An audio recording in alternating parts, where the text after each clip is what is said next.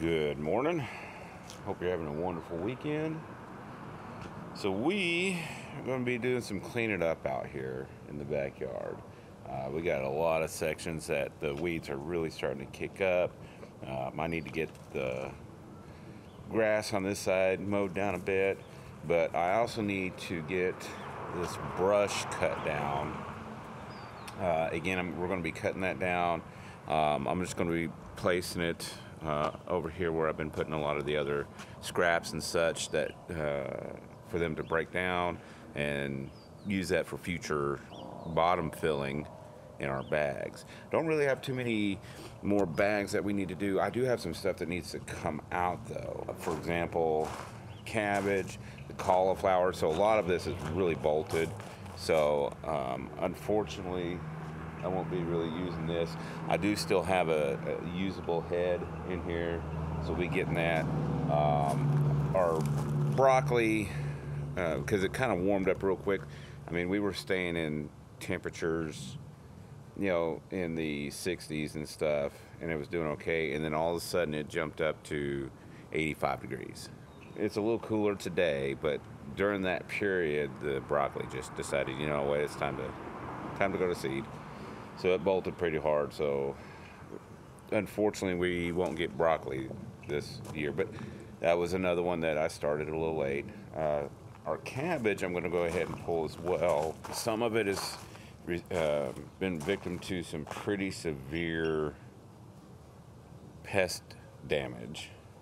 But fortunately, I do actually have a small one here uh, that we'll actually be able to use. It's not going to get very big, and I think part of it's because I have more than just one little cabbage in here. Um, but I'll at least get the one. And then our carrots have just kind of really taken off. I probably should have thinned them out, and I may still do that at some point here. But the greens on them have just gotten massive. So I'm pretty happy about that. Our spinach is starting to bolt. Um, we did get some of that. Um, but yeah, it's it's it's going to seed as well. Um, our red romaine is looking amazing at the moment, though.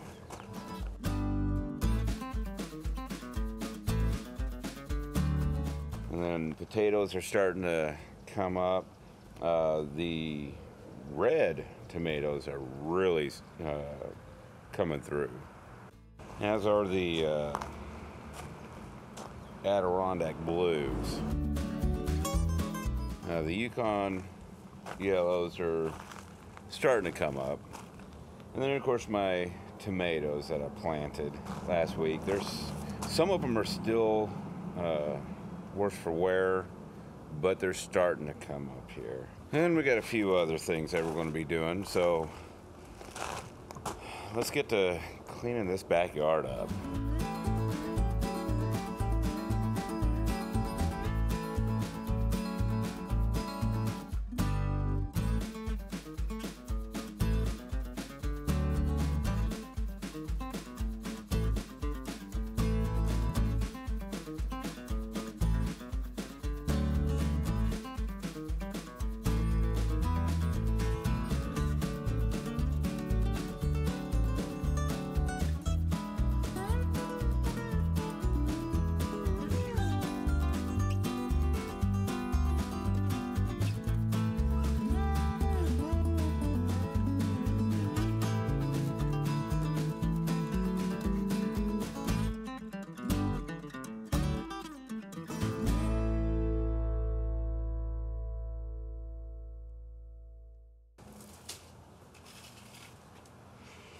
When you're using a chainsaw, eye protection, ear protection. Just saying.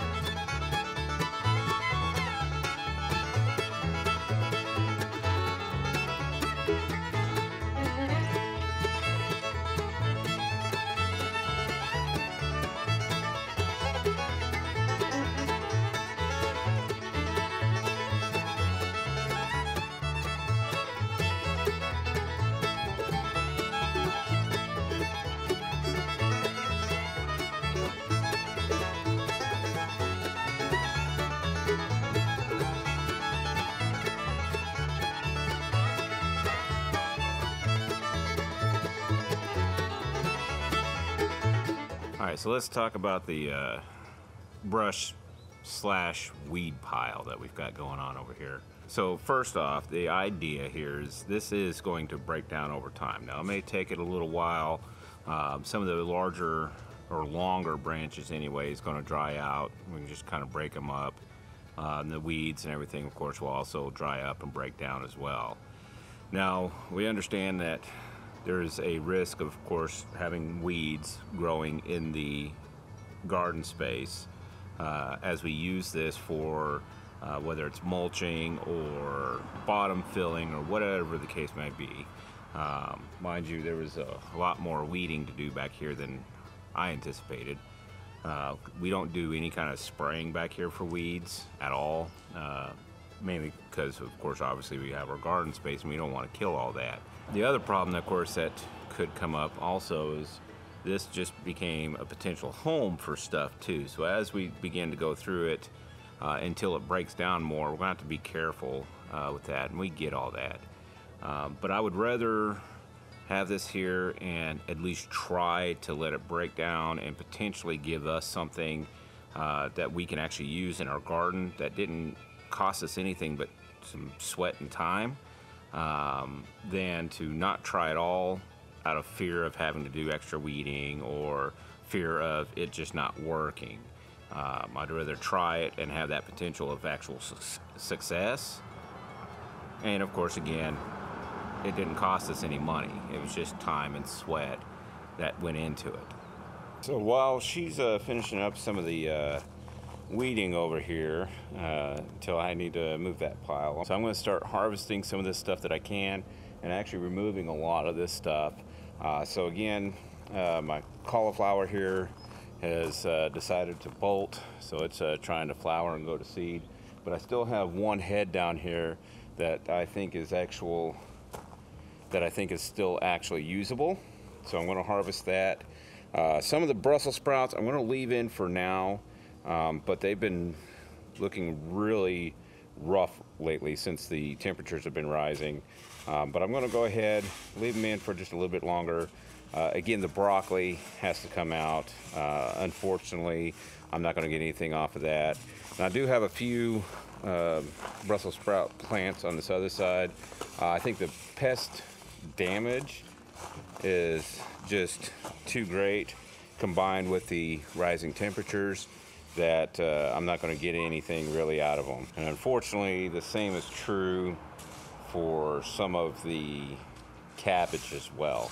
I do actually have one small cabbage I'm going to get, so it's my first time actually trying to grow cabbage. Technically, my second time, really. Uh, first time I've actually gotten any heads that have formed. I'm still okay with all that. And of course, the spinach, which unfortunately, is also going to seed. I should still be able to, I think, harvest some of it.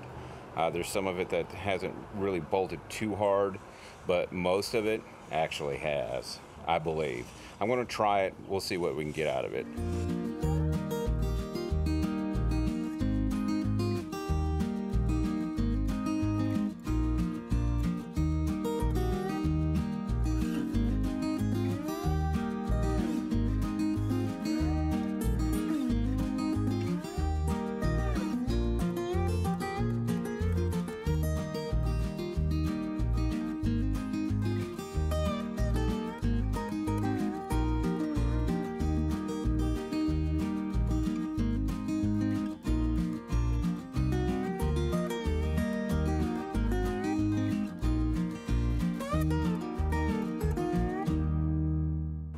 Now, what I'm going to do with the cauliflower here and everything that's in that bag, I'm going to go ahead and just cut it right off at the ground.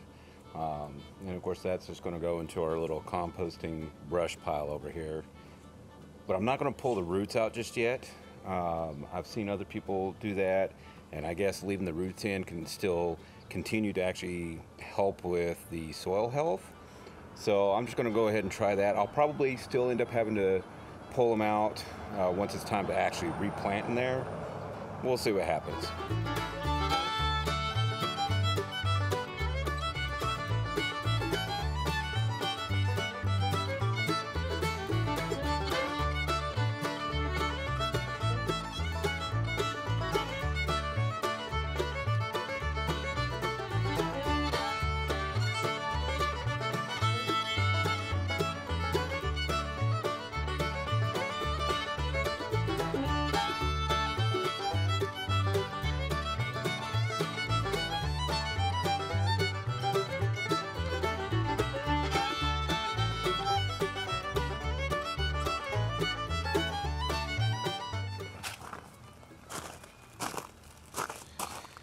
Tiny, but it's usable.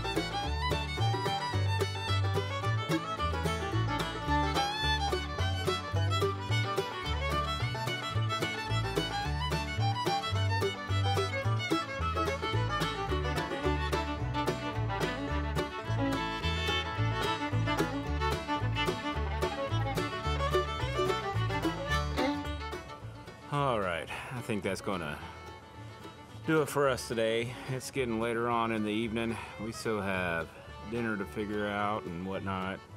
Uh, I did get uh, a, a small thing of sweet basil uh, started, so I should have sprouts here shortly. Uh, if you saw my last video, uh, you know I'm planning on taking some of that basil and actually putting it in with the tomatoes and do some companion growing. Um, so I've got six cells that I've started. Probably two will end up being planted with the tomatoes. Uh, I don't want to overdo it necessarily, uh, but we'll see what happens. I may put a few more in there, but right now I'm still leaning towards having like two of those. Um, of course, we got most of the actual yard work done as far as weeding and cutting the grass and got most of the brush cut down to reasonable uh, sizes, more manageable sizes at least. And essentially, this is kind of going to be like a composting brush pile, I guess you could say. That uh, as stuff you know breaks down, uh, some of it's of course going to dry up a bit. Uh, it will be getting uh, some water added to it, obviously, with the sprinkler system that I have at the moment. Um, as a matter of fact, that's actually going to be one of the next big projects is getting a water system actually set up. Still have some measurements that I need to take and figure out exactly the layout that I want. Um, I do have some of the line that I'm going to be using. Um, there's just some additional lines. I think I'm just going to use the uh, perforated uh, watering lines that just kind of spray out. Uh, and for the most part, uh, think of it almost like a curtain of lights where you have a main string and then you have your lights that come down and they're just kind of hanging loose. Kind of that same kind of a layout, but obviously water lines. And the reason I think I'm going to go that route is you can move those a little easier because we're constantly, you know, shifting and moving bags back here. Um, speaking of bags, that's actually another thing is for the time being, I don't know that we're actually going to be picking up any more of the 30 gallon bags. Um, I think I'm actually going to start just uh, focusing on like five and 10 gallon bags. Uh, one, it's more manageable, and two, I have plenty of 30 gallon bags. Um, I have one that we actually have weeds and stuff sitting in. Um, and then we have eight that are now not being used uh, because we cut out uh, all the brassica type plants and things of that nature that was either uh, damaged by pests or you know the warming temperatures. Uh, it's just it's past their season. Uh, so I have plenty of 30 gallon bags. I'm actually thinking we're going to be using those for corn, which I believe we're actually going to put up alongside the house, uh, you know, on the grass side, uh, but up a, closer to the house. Uh, otherwise, most everything else we do um, is going to be a combination of swapping out with what's already in the 30 gallon bags and any new bags, like I said, five and 10 gallon bags. one thing that we were actually talking about was potentially actually kind of reducing the variety of things that we're growing um, at the moment. I think part of it's just a matter of we're kind of in the beginning of one season and at the end of another, and so we're having some overlap. Um, but I've had quite a few different varieties of plants going all at once, and what we've been experiencing is we'll have you know some fruits uh, and vegetables that we will harvest but it's only like a handful from this and a handful from that um, versus like a whole bunch of one thing. So if you watched my last video you know i just planted 30 tomato plants. Uh, so with any luck we'll have a lot of tomatoes. Um, i am of course doing cucumbers and various peppers and various a couple of different melons watermelon and cantaloupe. Um, I still want to do some okra, but I think I'm going to try to kind of keep it somewhat contained in the sense of uh, growing just a handful of varieties instead of uh, just a bunch of different varieties, but a little bit of it. So I want to grow a bunch, but minimize the different variety type. And I think what that's going to do is it's uh, if we get lucky enough and have a decent harvest, it's going to force us to actually start to really getting into the preservation side. Now, I do want to play around with some canning and stuff beforehand, uh, hopefully in the next upcoming weeks, maybe. But um, what brought this all on, of course, we were talking about the peas, and I have two little pea, uh, pea plants. And we get a few pods here and there, and we've just been eating them right off the pea plant.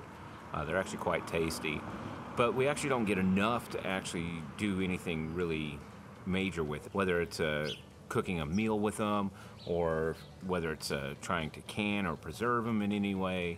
We're just not getting enough. And for us to actually get enough to do that, we'd essentially have to have like an entire trellis of peas planted to get enough to actually do anything with.